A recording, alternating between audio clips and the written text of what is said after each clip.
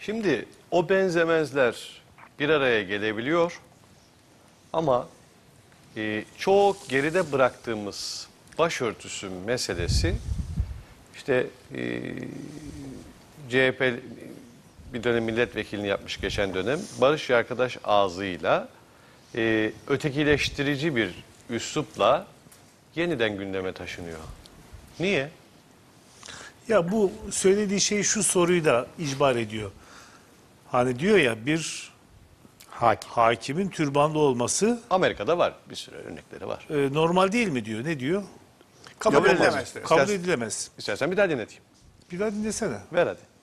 Yalnız orada bir Şöyle bir cümle orada kursam ben, ha. or- bir saniye. Orada herkesin dikkatinden kaçan bir şey var. Belki fark edersiniz diye söyledim ama etmediğiniz için ben söyleyeyim. Ee, Barış arkadaşın e, işte başörtülü hakim olmaz söylemi e, Türbanlı. kendi düşüncesidir. Türban kendi düşüncesidir falan filan. E, katılırsınız, katılmazsınız. Katılmıyoruz. Eleş- eleştirirsiniz falan filan ayrı mesele. Ama e, o türban başörtüsü için e, dinin siyasal sembolü ifadesi bu kabul edilebilecek bir şey değil. Orada had, e, haddini bil demek gerekir. Ya bak, dinin Barış- emrini dinin siyasi sembolü gibi e, bir cümleyle ifade etmek Barış yanlış. arkadaşın kullandığı cümlenin ne kadar normal, daha doğrusu ne kadar anormal olduğunu gösterecek bir başka bir cümle kuracağım ben. O da şu. Bir hakimin başı açık olması doğru değildir. Diye bir cümle kuruyorum ben. Size ne çağrıştırıyor bu? Dünyanın en saçma sapan, en gerizekalı, en aptalca, en ayrımcı cümlesi. Bu bir, bir kez daha kuruyorum aynı cümleyi. Bir hakimin başı açık olması doğru değildir diyorum ben. Şimdi alırlar bunu yarın Bunu desem- sonunu kesip Ha, bu cümleyi kursam, bu cümleyi kursam beni asarlar. Asarlar yani. Sosyal medyasıyla, siteleriyle, gazeteleriyle. Şimdi bu arkadaş bu cümleyi kuruyor ve bu çok normal bir şeymiş gibi karşılanıyor. Yani genel Türkiye'den bahsediyorum. Ya bu bunu ar- affedersin, bu arkadaşın soyadının önünde niye Y var? onu bilmiyorum. Yani bunu ben bir televizyon programında kendisine sorduğumda bana ilginç bir şey söylemişti. Karslı bildiğim kadarıyla.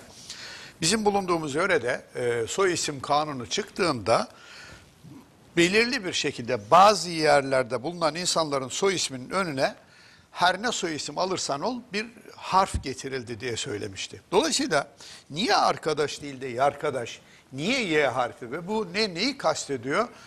Özellikle bu sözü duyduktan sonra kafama takıldı. Bunu bir araştırmak gerekiyor bence. anlasın. Şimdi Ama bir dakika. Şimdi bu da çok yanlış anlaşılır. Ben- E, etnik kimliği, e, dini kimliği, e, bunların hepsi tercih. Yani etnik kimliğini tercih edemez insanlar ama din, dinlerini tercih edebilirler. E, bundan dolayı yı eleştirmiyoruz biz. Hayır. Yani biz Barış arkadaşı e, ait olduğu zihin dünyasından dolayı eleştiriyoruz. Yani o kafasındaki düşüncelerinden dolayı. Yoksa e, etnik kimliği üzerinden Hayır hayır hayır ben ya da etnik kimlik falan söylemedim lütfen öyle bir şey aklıma Hayır, gelmiyor. ha, Ben, o anlaşılır. Bakın şimdi O anlaşılır. arkadaş arkadaştır. İyi arkadaş. Niye iyi arkadaş? Kendisine sorduğumu söyledim. Mesele de şu. Ee, Türkiye 82 milyon nüfusu var. Yarısı kadın. Ne kadar? 41 milyon kadın var. Bu ülkede biz biliyoruz ki bu ülkedeki kadınların yüzde yetmişi başörtüsünü kullanıyor. Yüzde yetmişinin başörtüsü taktığı bir ülkede birinin çıkıp bu ülkede hakimlerin başörtüsü kullanması doğru değildir demesi kadar saçma bir şey olmaması lazım. Bunu yıllarca bize dediler. Şimdi çıkmış gene aynı cümleyi kullanıyor. Bunun etnik kimlik şunla bununla falan alakası yok. Bu ülke, bu ülkenin siz- değerleri, siz- bu ülkenin inançları meselesi var. Amin. Ha, yanlış anlaşılmaktan biz korkuyoruz ama kimse yanlış anlaşılmaktan korkmuyor. Hayır hayır şöyle bir şey ama. Şimdi o bir, e, Y harfi üzerinden bir tespit yani sordum böyle Hayır, dediniz ya, Berat. Şimdi, bak heh, ben e, bunu çok yanlış yere gidebileceğini düşünüyorum. Hayır efendim ne münasebet. Yani şunu söyleyeyim benim soyadım Öztürk ama ben biliyorum ki Doğu ve Güneydoğu'da tamamen genlerinin tamamında Kü- Kü- Kürt olan bir takım ailelere Öztürk soyadı verildi. şimdi dolayısıyla dolayısıyla şimdi o adamın soyadının Öztürk olması bak, onun Bu Türklüğüyle senin, senin anlattıkların konuyu içinden çıkılmaz bir hale şey- getiriyor. yok, Çünkü başka bir benim şey söyleyeceğim. kastım Yok, başka kesinlikle bir şey o, o. Bak, falan başka bir değil. şey söyleyeceğim. Şimdi birincisi bunu söylüyorum. Yani İkincisi ki Kars'ta yaşasaydın Yoztürk olurdun. ha, mesela, Ha işte. Onu mu söylüyorsun? Onu söylüyorum. Tuhaf garip bir şey bu. Ya- Garip bir şey ya Allah Allah. Bir- ki Etnik kimlik falan öyle bir derdim yok. Barış arkadaş nedir? Azeri midir? Kürt müdür? Bilmiyorum. Ben biliyorum neden Y olduğunu söyleyeyim size. Hah. Gezi'den sonra bir Y kuşağı falan çıktı ya. Ee, Bir dakika. Soy ismi verenin öngörüsü e, 12'den. Bir dakika. Yani Geziden sonra çıkan Z kuşağı. Y kuşağı. Z. De Y Sonra- kuşağı vardı. Ee, Y, o da vardı. Y mi? O da mı var? Eyvallah. Devam edelim. Şimdi bu bir. Hayır hayır şunu, şunu eklemem lazım benim. Şimdi Barış arkadaş bu cümleyi kuruyor ve çok normal karşılanıyor. İşte biz burada itiraz ediyoruz. Niye bu cümleyi kuruyor? Daha doğrusu bu cümleyi kurma cüretini nereden alıyor? Bugüne kadar din ve dine ait görünürlük sadece fobik çerçevede konuşuldu bu ülkede. Nedir? İşte laiklikle ilişkilendirildi. Devletin müesses nizamıyla ilişkilendirildi. Artı bir de işte fobik çerçevede işte gerici, yobaz vesaire falan filan değil. Bu değil.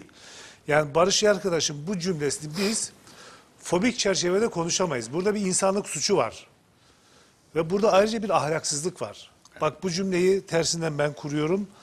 Bir hakimin başı açık olması doğru değildir. Dediğim an siz bana ahlaksız dersiniz. İnsanlık düşmanı dersiniz. Anlatabiliyor muyum? Biz Barış arkadaşın bu cümlesini işte normal CHP kafası, doğru normal CHP kafası olarak da değerlendirebiliriz, konuşabiliriz ama onun ötesi, ötesinde başka bir şey var. O başka bir şey de maalesef bizim ancak şimdilik insanlık düşmanlığı olarak yorumlay- yorumlayabileceğimiz bir şey. Ben eee Barış arkadaşın bu söyleminin arkasındaki gerçekliğin şu olduğuna inanıyorum. Eee, mesela İstanbul seçimlerinde bir dil geliştirildi. Az önce Hasan Öztürk altını çizdi. O dile rağmen Barış arkadaş çıkıp bunları söylüyor ise CHP Genel Merkezi'nin CHP'li yöneticilerin tepkisini alması gerekir. Ya çıkıp Yani kimsenin CHP'lerden umurunda değil. Hayır. CHP'lerden birileri çıkıp şunu demesi gerekir. Ee, Barış arkadaşın e, söylemleri Kendini bağlar. Yo. Ee, çok eskide kalmış. Ee, hoş değil. Ee, kendisini bu, bu sözler nedeniyle kınıyorum demesi gerekir. Sence bu aşamaya geldiler mi? Geldiler. Bu iyi bir şey Ee, o zaman. iyi bir şey. Şu ama bir dakika. Heh. Geldiler derken bu aşamaya bilerek, isteyerek, hoşlanarak gelmediler. Takiye mi yapıyorlar? Şunu evet. Eyvallah. Gördüler ki Türkiye'de iktidar olmak için böyle bir dil geliştirmek Tam takiye yapsınlar, itiraz etsinler bu adama. Heh, oraya geleceğim. Şimdi e, niçin Barış arkadaş bu sözleri kullandığında genel merkezden tepki çekmiyor? Sebebi şu. Barış arkadaşa verilen görev benim kanım. Yani Barış bizim arkadaşımız. benim değil. E, yani o ayrı. E, Tanışımız. tanışığımız. Yani oturup e, kahve içip, e, çay içip görüşmüyoruz uzun yıllardır ayrı mesele ama e, senin de iyi arkadaşın, bizim arkadaşımız. Şimdi Barış'a benim Bir kanaatim, arkadaşız yani doğru söylüyor. benim kanaatim, kişisel kanaatim CHP içerisinde bir damar var. O damarın da gazının alınması lazım. Ve onun için Yoksa o gaz patlıyorsa da evet o gaz Ben, patlıyor. ben bir şey merak ediyorum. O gaz alınmaz. arkadaş daha önce Ama biliyorsunuz. ya bu çok meşrulaştırmak olur. Evet. Adamın söylediği şeyi. Hayır hayır. Be- benim açımdan mı? Evet. Hayır. Niye öyle bakıyorsun? Ee, şu, şimdi tepki var. Deniyor ki, ya işte bu CHP'nin söylemi değişti. Bu, bu- bunlar şöyle yapıyor, böyle yapıyor. Yok şöyle yorumlara yol, yol açar. Canım o da gaz alıyor. Ne yapsın yani? evet falan açsın, gibi bir açsın şey. bir problem Hayır yok. ama affedersin. ne olur bu- ki? Burada biraz tarihi derinliğe inelim. Ama Barış şu var, arkadaş bir ama- dönem CHP açısından muhalif bir isimdi.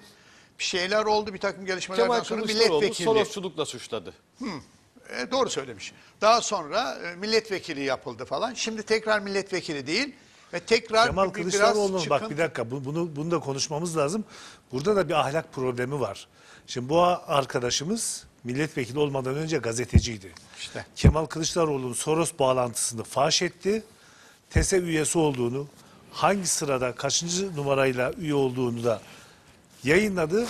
Milletvekili yapıldıktan sonra bu bilgileri sitesinin veri tabanından sildi. Sildi. Niye siliyorsun kardeşim? Evet. Ama konudan Yani uzaklaşmayalım. şimdi de aynı bir benzer bir hesap mı vardır diye aklıma Ha, yok. geldi. Şimdi konudan olabilir bu düşünce eyvallah. Şimdi Ahmet Gegeç'in eleştirisini e, anlıyorum. Ahmet Gegeç diyor ki sen böyle dersen e, ne olur? Meşrulaştırmış olursun. Meşrulaştırmış. Hayır öyle bakma. Bir tarafta şimdi öyle bir talep var. Meşrulaştırmaktan öte bir şey oluyor. Bu söylemi duyan çıkıyor sokağa, sokağa Ah, çıkıyor. O tahrik edici bir unsura dönüşüyor ve bankada Ha- hakim bankada bulamadığı için- versin bankayı verelim. Şimdi diyor ki Bu hanımefendiye bir soru sorulabilir mi? O da tabii. şu. Sen bu kıyafetinle Atatürk döneminde Atatürk dönemindesin ve bu kıyafetinle dolaşabilir miydin? Güzel. Şapkan nerede? Dolaşabilir miydin? Dolaşamazdın. Ben de, ben de bu hanımefendiye şu soruyu sorabilir miyim? Mesela İran alan diyor ya İran eleştirisi var. Mesela e, CHP'li bir vekil Türkiye ile İran karşı karşıya geldiğinde benim safım İran olur dediğinde niçin tepki vermedin? Değil mi? Daha fazla video izlemek için kanalımıza abone olabilir, ilk izleyen olmak isterseniz bildirimleri açabilirsiniz.